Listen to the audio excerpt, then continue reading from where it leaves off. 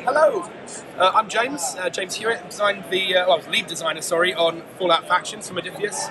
Uh, I've been working in game design for about ten years. Worked on things for Games Workshop, Mantic Games, Steam Forged, a whole bunch of other things. And yeah, Fallout Factions is the latest game of mine that's coming out.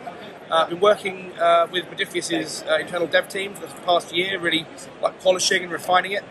Uh, and I'm really happy with how the game's got to where it is now. We've uh, ended up with a game which stands alongside Wasteland Warfare as two separate games. This is a much more like quick, easy to get into, fast playing but very deep uh, game. About 30 minutes probably for a, a session with a two foot by three foot playing area. Ideal for organised play, but also great for people that are new to the hobby in general. Yeah, so um, I've been playing games like this, like miniature skirmish games, for most of my life. Uh, and I've played a lot of different ones over the years. I've worked on quite a few. I've worked on uh, Necromunda for Games Workshop, which came out in 2017, and um, this is kind of the culmination of a lot of a lot of that, really, a lot of what I want to see in a game.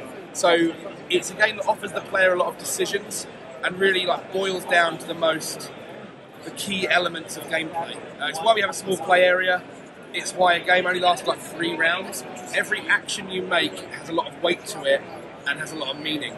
So, uh, for example, in a, in a round of play, if you've got eight models on the, on the field, you've got 16 actions really that you can make.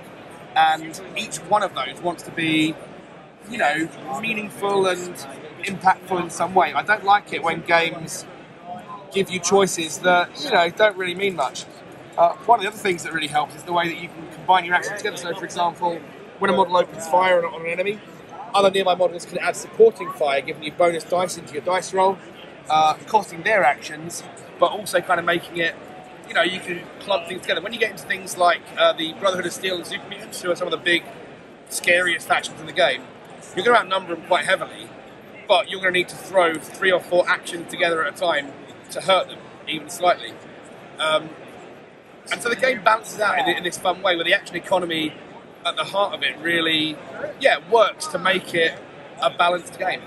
Also, um, one of the things that speeds it up is in a lot of games like this, where you know one model at a time goes, the end of the round is kind of it loses a lot of meaning. Like you have, um, oh, I'll, I suppose I'll move over here. I suppose I'll take a shot. Don't really, it's not going to do, do a huge amount, but I'll give it a go. Here, when you get to the end of the round, you haven't got many actions left. You can choose to pass, which means you don't make any more actions, but you get the first turn in the next round so you get the jump on your opponent, and it gives again gives the player some really interesting choices. We're shipping uh, the Fallout Factions core box in April May time. It's up for pre-order currently. Uh, it's $110, or I believe, £80 in the UK, and uh, in there you get oh, two uh, sets of 10 raiders, the operators and the pack.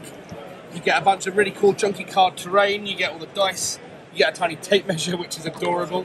Uh, you get uh, your rulebook, everything you need to play, including like campaign rules and all that kind of stuff. It's the full game. Uh, we've also got the different raider models available separately, so the pack and the operators that are in the box, and we've got the disciples who are the third faction that are covered in the book. Uh, and they're all taken from the uh, Fallout 4 Nuka-World DLC, where they're a bunch of raiders who have taken over an abandoned theme park. Um, also, online, we've got available for pre order the uh, dice sets for each one. Uh, I think the pack dice set is the nicest one. Um, and uh, yeah, say it'll be shipping fairly soon, but you can get the, the plastics uh, soon, and they are really nice plastics. If you haven't had a look at these, pop the sprue down so you can uh, have a little look at these.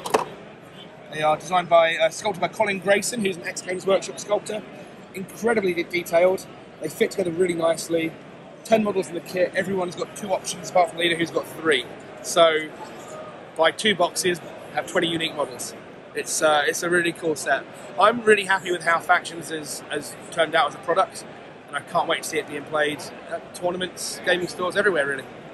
And uh, if you like the look of it, hey, Griffin Gaming have actually got a box of Disciples to give away. So check out the description below for the details. This could be yours. Good luck.